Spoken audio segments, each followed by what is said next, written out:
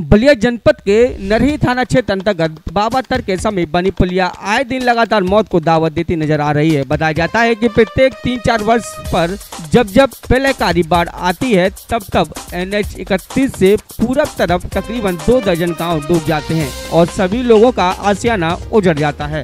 वार्ता के दौरान कई नई बस्ती, कुलडिया निवासी वीरेंद्र यादव ने बताया कि बाढ़ आने पर आमजनों के अलावा मवेशियों की भी दशा अति दयनीय हो जाती है, तथा गाय और भैंस इस पुलिया में फंस कर मर जाती हैं, जिस पर किसी भी आला अधिकारी का ध्यान नहीं है। बलिया से संजय राय की रिपोर्ट एस न्यूज़।